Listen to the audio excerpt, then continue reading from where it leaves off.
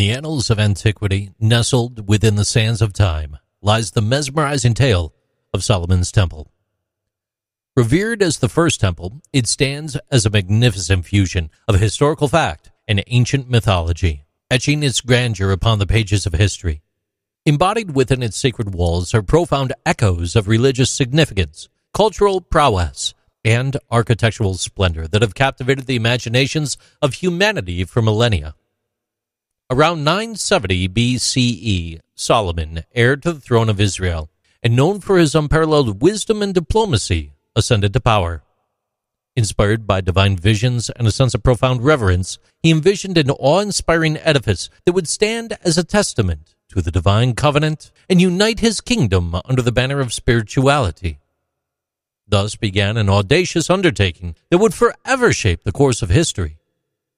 Solomon's Temple, a stunning witness to ancient architectural and religious genius, was a multi year joint effort involving a large staff and a harmonious blend of stone and cedar wood.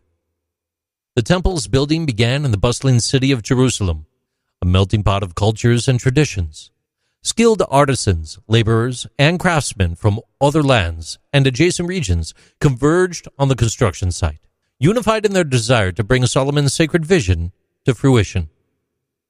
Crafted by the hands of skilled artisans, laborers, and craftsmen from far away, the construction of the temple became a monumental display of ingenuity and human collaboration.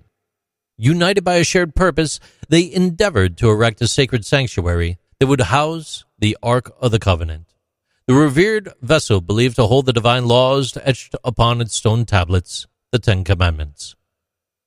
The labor force involved in the construction of the temple was in the tens of thousands with historical estimates putting the figure at roughly around 150,000.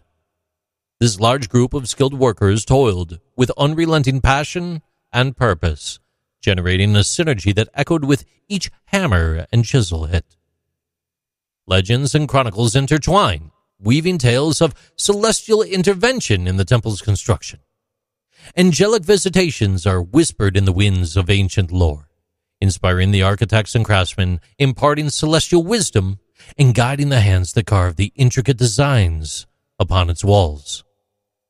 Among the mysteries that enshroud the temple's construction, one name surfaces the Shamir, a legendary creature. It was said to possess the power to cleave stone without the aid of mortal tools, infusing the temple with an aura of divine enchantment. The temple rose to express its majestic presence atop the revered Temple Mount, an elevated prominence that reached for the heavens. Its outer dimensions spanned approximately 60 cubits in length, 20 cubits in width, and 30 cubits in height, a testament to the scale of its vision. Adorned with exquisite carvings of cherubim, palm trees, and intricate floral motifs, its walls exuded a radiant magnificence massively crafted from the aromatic cedar wood and embellishing with gleaming layers of pure gold. The fusion of stone and cedar wood brought to life Solomon's temple, creating an ambiance that went beyond the visual spectacular. The perfume of freshly hewn cedar mingled with the earthy scent of limestone, generating a sense of experience that resonated with the solemnity of the location. The fragrances seemed to carry whispers of supernatural blessings, and angelic direction, mingled with the sweat and labor of the devoted staff.